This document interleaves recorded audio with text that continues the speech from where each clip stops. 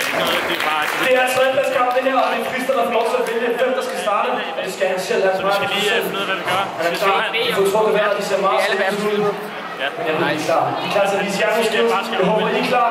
Så lad os lige give nogle stemmer. Jeg vil gerne lige høre publikum i tredjepladskamp. Jeg skal lige mærke jer, så ved I, at I er her. Mine damer og herrer, giv lige en masse Sebastian en kæmpe stor hånd. Let's go! Ja tak, så har vi vejen. Vi har energien. Dommerne er klar. DJ er klar. Er klar. Vi starter om 3, 2, 1. Vi står på bolden. Kampen om 3. plads. Let's go! Og den skubber på Mads fodstål. Vi er sidste gang. Tricks er allerede på højt niveau. Kom så, Frister. Let's go.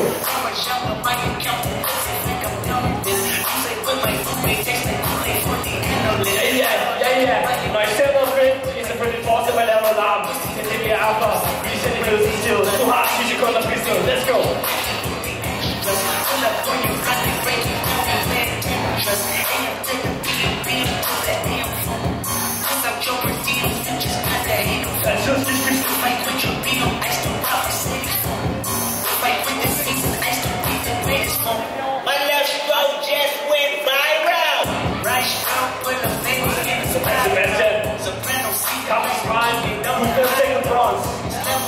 Yeah, yeah.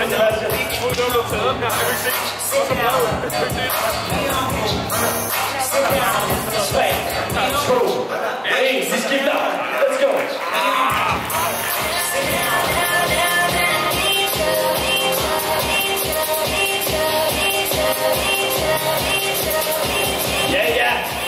sind der Band, der nur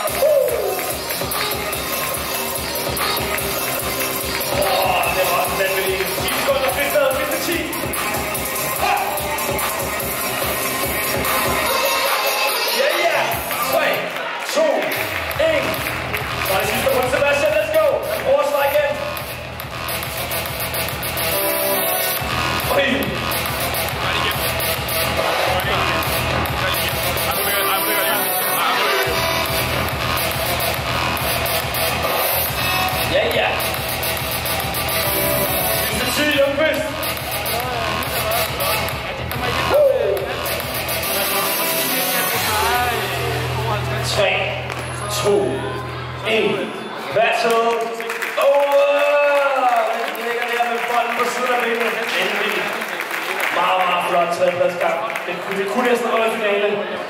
Men det var kampen om tredjepladsen. Kampen om bronzen i DM fodbold freestyle. Puh, dommerne har det hårdt. Jeg kan godt forstå. Har I brug for 10 sekunder mere? Eller er I klar? Nej, bunken ligger. Hvad med publikum? Har I nogen favoritter derude? Ikke vel? Ja, okay. Det kan jeg godt forstå. Den var også tæt. Meget tæt battle. Dommerne, de er klar.